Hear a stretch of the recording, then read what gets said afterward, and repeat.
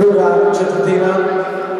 Ženský košarkařek Vidovice, ženský košarkařek Vysvěl, Rijeka, 20 na 17.